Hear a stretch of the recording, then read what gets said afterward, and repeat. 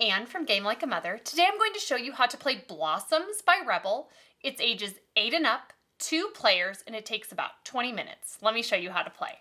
The goal of the game is to collect the most points, which you do by growing and then cutting flowers, which you collect. Uh, there is a scorecard to tell you how much each uh, number of flowers is worth once you collect it. To start, you shuffle all of the flower cards into a pile and then, one at a time, place out flowers over these four flower pots. They must be each a different kind of flower. If you get any multiples, you put the multiple off to the side and keep on drawing and playing until there are four different kinds out here. Shuffle any discarded flowers back into the pile.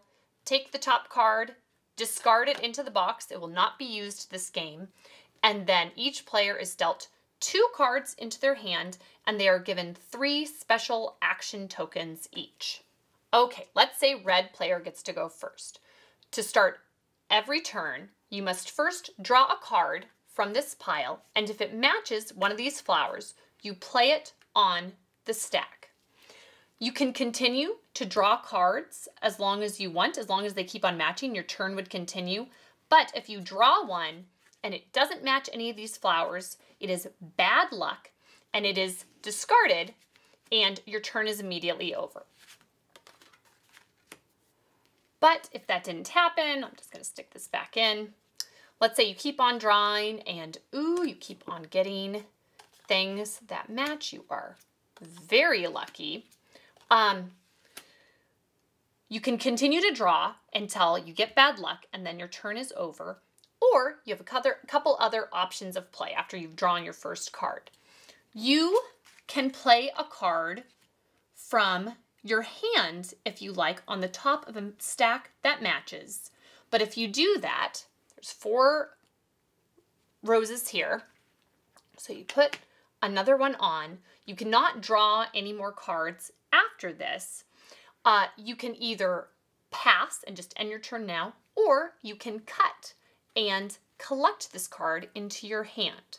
So this is five, you can go to a max of six, and this player would cut it and put it off to the side on their side, and their turn is now over. If you cut, it must be at least two flowers to cut. Now it is blue's turn to go, red's turn is over, and it's actually very nice when someone has just cut a flower because when you draw your first card, that's the first move every time, it matches here, so they play it here. But they can continue to draw, and if it's a flower that doesn't match, it just gets to be planted in the empty flower pot. Now, they can continue to draw. They can plant one of these flowers if they match. They can pass, or they can use one of their special action tokens, which, as you can see, each of these flower pots has a different picture on them, and they each correspond with a different special action. With the watering can, if they place a token here, they can take one of their flowers and they can add it to the bottom of any of these flowers, even if it doesn't match. And the secondary effect of that is if they then end their turn and this person draws and they play a bunch of tulips, they cannot cut this flower. This flower is reserved for this person until their next turn, at least. Um, if you get the pruning shears, you may draw a new card into your deck. You are only allowed to do one special action per turn. You can't just put out three and be a special action hero for a round. You must only do one per turn. You go, your special action is on this, it can't be cut, and then it's the other person's turn, and when it comes back to you, this gets discarded and is out of the game for the rest of the game. So we have watering can, get to place a card underneath. Uh, pruning shears, you get to draw a new card to be um, put into your hand, and they have little pictures below to kind of help you uh, remember. The fence allows you to ignore bad luck. So if they hadn't played this, we'll just put things how they were. And if they were busy drawing and trying to make large of flowers as they could. And they keep on going. They're doing great. this came up and they really don't want their turn to be over. They can go ahead and place this right here and they will ignore the bad luck and they can continue to draw or they might choose to go ahead and cut this while the time is right and then they would have a flower. The final power is my favorite and it is a rake that allows you to see the future. So you have to play it um, after you've already drawn one card. Then you can play the token here and you draw the top three cards from the pile and look at them and you can rearrange them in any order that you like. So they would do, put this on top because these two wouldn't play and we'll put this back in like it didn't happen. And so they could play this and then say, okay, that's it. I'm going to cut my flower and put it over here by their side and have their turn be over. The other player, when it's their turn, you can still plant flowers in this spot. You just cannot cut from the special action token spot that the other person has. And also, this person cannot use the same power on their turn now. So it's back to red's turn, and they can go ahead and draw, and they get a new one here, and they say, oh, I would like to see the future. They cannot do that by placing a token on the rake. It is one person at a time. Okay, so this person uh, drew that card. They're going to draw again. Uh-oh, bad luck. So they say, I'm going to use a special action as well and put their token here. So bad luck doesn't count. They get to go again. Hooray, they got another good flower. And uh-oh, bad luck again. They can't play another token there. So their turn is over. It is now back to blue's turn. They have to take this token off. It gets discarded. And now they must draw their first card and see how they're doing. And they're going to cut that because it's five. That's pretty great. Put it off here by their growing stack of flowers and their turn is over. Every once in a while, you may have a scenario where if it's red's turn and blue just picked this flower, cut this flower right here. Red goes and this flower, the poppy's up to six high.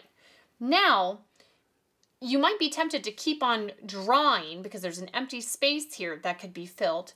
But if you draw a card and it's another poppy, so you're up to seven flowers high, your flower has grown too much and it dies. So you have to discard the whole thing and put it over here and your turn is over. Let's skip ahead to an end of a game. It is Red's turn and they're going to draw a card, it plays, and they're going to draw the final card and that played as well.